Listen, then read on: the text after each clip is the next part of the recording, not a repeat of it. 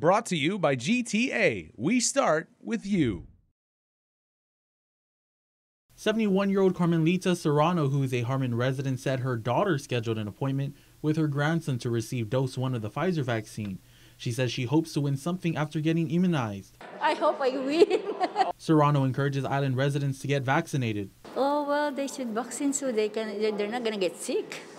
They're gonna get the the the COVID. Meanwhile, 16 year old Andrew Wang of Barrigada also received his first dose of the Pfizer vaccine. The sophomore student said he got vaccinated because his peers influenced him to do so. I just, you know, school pressure, the peer pressure, just, they all take it. The Department of Public Health and Social Services, in collaboration with DISID Guam, held a COVID 19 vaccination outreach at the Barrigada Mayor's Office.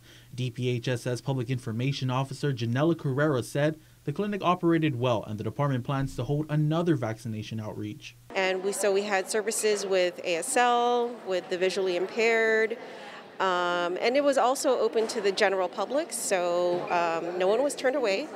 And uh, I think it turned out pretty successful. So we're already talking about the possibility of coming back here in about three to four weeks.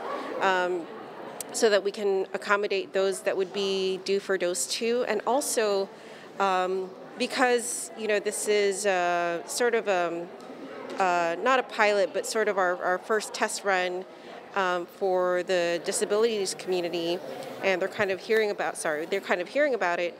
Um, I think it kind of just opens up that door and um, generates that interest within that community, and I think they want to come back. So, or they're they're, they're more interested now, and I think um, coming back here and that three to four week time frame gives them that second opportunity to come here and get their vaccines. Reporting for Guam's News Network, Wahusi Isaiah Again.